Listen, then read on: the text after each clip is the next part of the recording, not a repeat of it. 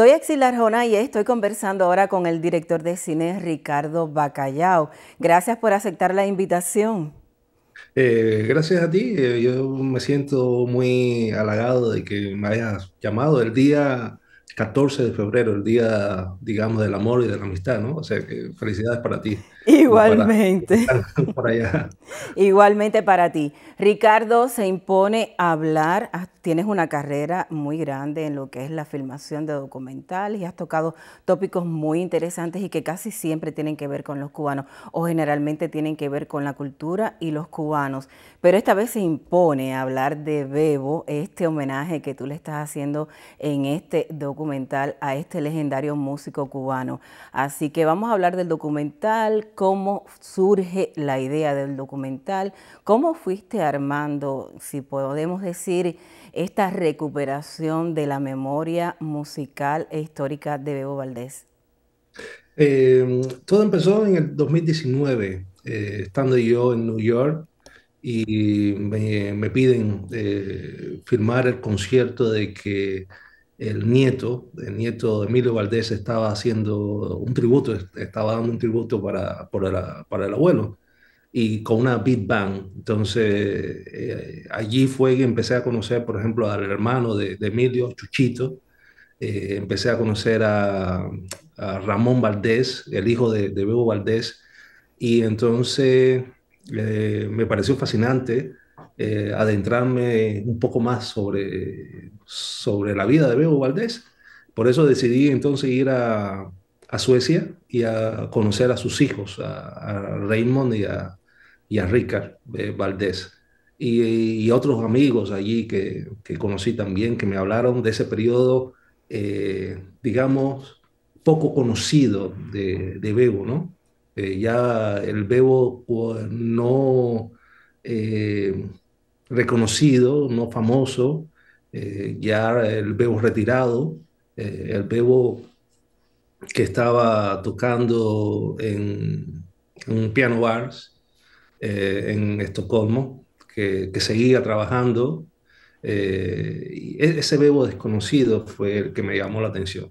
Y entonces hice una, una versión, digamos, en el 2000 20 saqué una versión que se llamó Searching for Bebo, eh, eh, Cuban Soul in Cold Land, eh, Cuban Soul in Cold Land, o sea, como buscando a Bebo una alma cubana en tierras frías, digamos, sería la, traducción.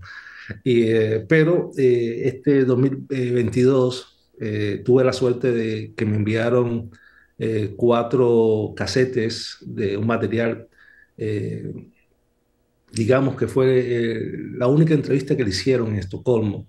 Stina Dabrowski, una reconocidísima eh, periodista sueca, ya retirada, y ella se enteró de que yo estaba haciendo este, este documental, que estaba indagando entre amigos y ya había entrevistado en, en marzo pasado a, a, Paquito de Rivera y, y estaba con otras personas más. Entonces hice otra versión del documental. O sea, tengo de, como tres versiones, digamos, de, de este sobre Bebo, ¿no? Eh, no soy un experto de Bebo, pero eh, me, me, llama la atención de que he conocido demasiadas cosas ya sobre Bebo Valdés, ¿no? inclusive en esta entrevista que, que, me dan, que me, me hacen llegar, eh, decido entonces centrarme más en, en las palabras de Bebo, ¿no?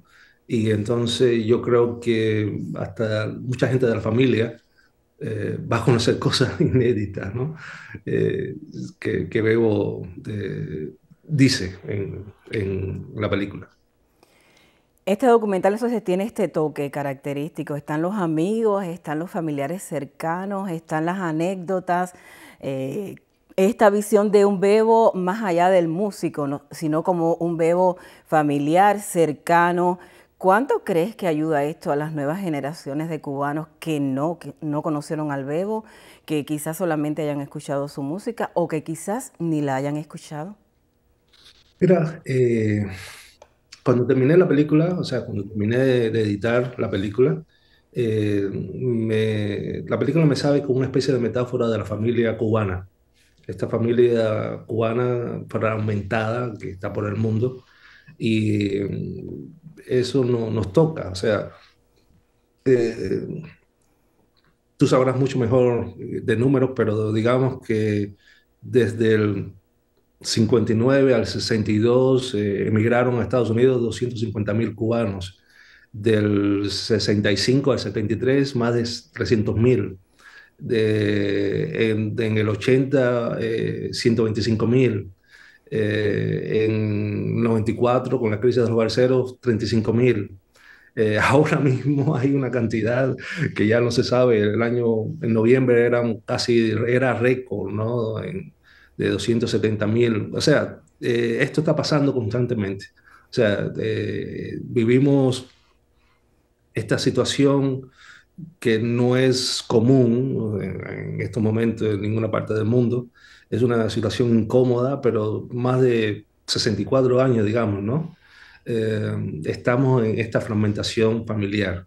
Y, o sea, esto es, eh, parece pasado, pero es presente, es lo, a donde voy. O sea, es, algo constante. Y esto sin contar, digamos, con la cantidad de cubanos que se quedaron en el bloque soviético cuando este colapsó. O sea, mucho aquí donde, donde radico, en Alemania. Muchos cubanos se quedaron, se quedaron, se, fueron para otros países eh, también, para Suecia, de la Unión Soviética. Te encuentras, o sea, es una, eh, una diáspora, una diáspora que, que se, lamentablemente se renueva cada año. Eh, o sea, eso es la, no es pasado, es, es un presente, ¿no? O sea, la nueva generación le parecerá esto como, como si fuera ayer. Así mismo es, Ricardo. Eh, ¿Cuántos minutos tiene el documental cuando los asistentes del Festival de Cine acá en Miami vayan a sentarse a ver Bebo? ¿Qué tú crees? ¿Cómo será la reacción? ¿Qué sentirán? ¿Qué tú quisiste dejar plasmado, además de todo lo que me has contado en este documental? Bueno, eh, estamos frente a una persona que tenía un carisma increíble, o sea, era un carisma, digámoslo así, natural, no había nada forzado, va uno a disfrutarlo, se disfruta verlo, se disfruta escucharlo, porque también eh, debo decir que, Paquito de Rivera eh, me ha colaborado con la película, o sea, me ha dado material eh, de él, de su ensayo de 2000, em, me parece que 2009, eh, del ensayo en Carnegie Hall, y ahí aparece este Cachao, que era amigo de la infancia de, de Bebo, aparece Cándido Camero también, y aparece el, el propio Paquito de Rivera tocando. Eh, la película es muy musical también, ¿no? O sea, es, eh, o sea, me parece que, que, se puede disfrutar, se puede pasar. O sea, dura eh, cerca de 90 minutos y algo. y me parece que, que fluye. Eh, pero lo digo yo, o sea, hay que esperar que le parece a, a, los, a la audiencia. también un poco triste también, o sea, tiene la combinación de, de hay de esos elementos también, ¿no? Eh, porque me parece que muchos vamos a estar reflejados, eh, nos vamos a ver reflejados en esa situación. Bueno, Ricardo, muchísimas gracias por haber estado conversando con Radio Televisión Martí.